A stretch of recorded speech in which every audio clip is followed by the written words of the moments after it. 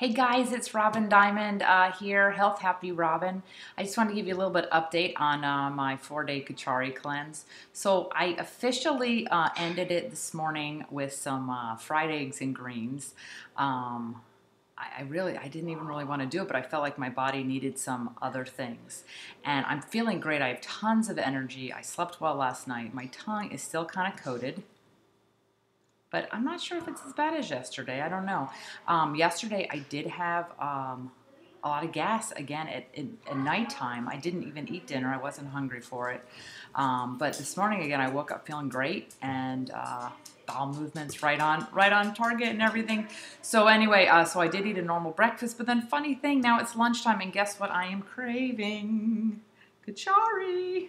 So I have enough to um, I have enough to eat. Uh, some, some more so I could probably eat it for lunch for the next couple days. So I'm really psyched about that.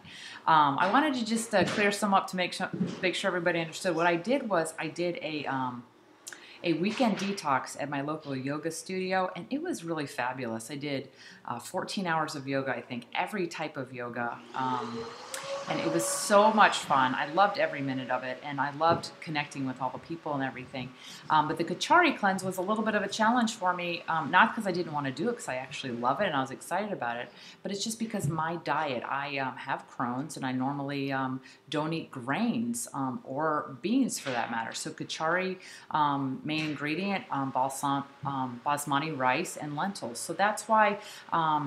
I was a little bit worried about this and worried about what it's doing to my body, but it does seem that my body is adjusting and taking care of itself. So I'll check in with you um, tomorrow and the next couple days, see how I'm feeling. But right now, I feel fabulous. And again, this morning was the first time that I ate anything besides kitchari. I, I did have one banana on the day before because I read um, on another website um, for kitchari detox it said if you're constipated, you should add a very ripe banana in the morning, which I did, and it worked great.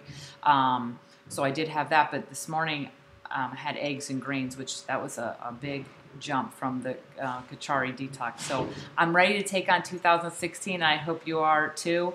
Uh, be fearless and uh, just go rock your mission. Thanks for uh, listening.